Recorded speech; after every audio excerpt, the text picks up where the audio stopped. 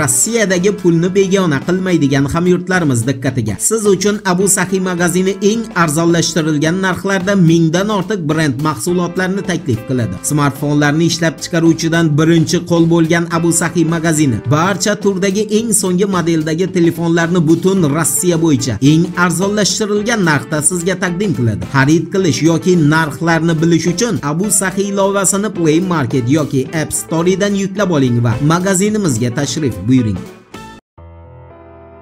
Assalomu alaykum qadrdon muxlis. Siz bilan siz bilgan va kutgan kanal turfa olam. Germaniyani welt agentligini samet sharifga tayanib xabar berishiga ko'ra ukrainaga endi eron haqiqatdan umri frontda o'tgan armiya jo'natdi. Biroq bu armiya eronga tegishli emas. Samet sharifni bildirishiga ko'ra ashraf g'ani hokimiyatni tolibonga tashlab qochgandan so'ng eronga afg'onistondan 20 yil davomida amerika qo'shma shtatlari bilan jang qilib kelgan aniq sonlarda 37 ming kishilik elita jangchi o'tgan va ularni Eron hukumati yaqinda deportatsiya qilish to'g'risida qonun chiqardi. Bu albatta Samet Sharafni gaplariga ko'ra xalqaro hamjamiyatlarni ko'zini bog'lash uchun amalga oshirilgan o'ta puxta rejali ish sanaladi va Eron bu jangchilarni o'z hududidan haydab chiqarish bahonasi bilan ularni azaliy dushmanlari hisoblanmish Qo'shma Shtatlarga qarshi xohlagan uslubda jang qilish uchun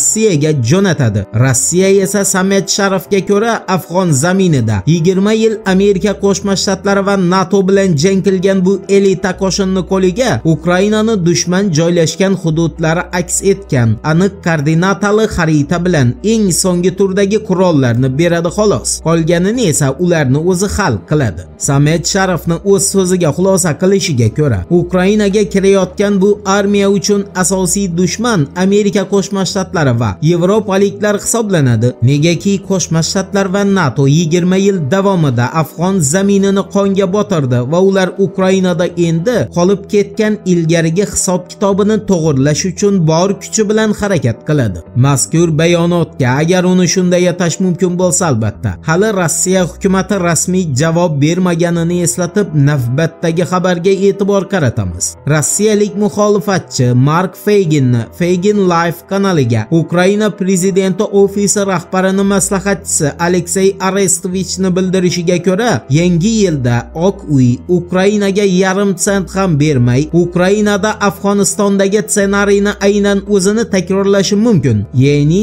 tashlab qochishi mumkin. Ammo shunday bo'lsa-da, Ukraina Rossiya bilan so'nggi ukrainalik qolgunga qadar jang qiladi va Ukraina bu ssenariyga hatto hozir ham tayyor. Eslatib o'tamiz, Ukraina Rossiya bilan so'nggi tomchi qoni qolgunga qadar olishadi degan gapni Arestovich frontda yoki Ukrainani elektr energiyasiz, tabiiy gazsiz va ichimlik suvisiz qolgan 80% hududida yurib emas, balki issiqqina yorug' uyida maykada o'tirib aytgan. Endi Zelenskiyni sud qilishdan oldin uni qo'lga olish bo'yicha Rossiyani tepasidan bildirilgan hayratlanarli, biroq aniq fikrga izoh beramiz. 25-dekabr kuni Rossiya davlat dumasini Sevastopoldan bo'lmish deputati Dmitriy Belikni RIA agentligiga ma'lum qilishiga ko'ra, yaqinda Zelenskiy va uning atrofidagi dollar desa tomdan tashlaydiganlar Ukrainadan sirli tarzda g'oyib bo'ladi. To'g'rirog'i dom daraksiz yo'qoladi. Sababi ularni yo'qolgani ma'lum bo'lgan paytda Zelenskiy va uni atrofidagilar allaqachon Qo'shma Shtatlarning eng qimmat orollaridan birida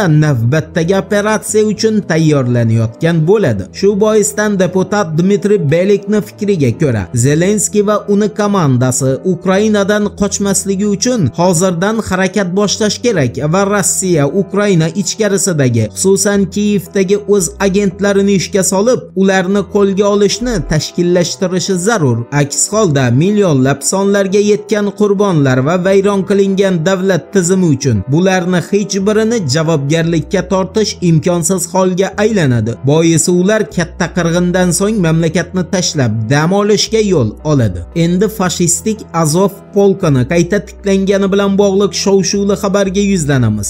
Ukrainani Miratvorets agentligining xabariga ko'ra 26-dekabr holati bilan Ukrainada allaqachon Gitler ramzini tanasiga tushirgan Azov polki yana tashkil etilgan va bu polkda hozir allaqachon ikkita batalyon tuzilgan. Bu esa o'z navbatida fashizmni qayta tiklanganidan daraklik beradi. Voqealar rivojini birgalikda kuzatamiz. Turfovlan bilan qoling, siz kutgan kerakli ma'lumotlar hali oldinda.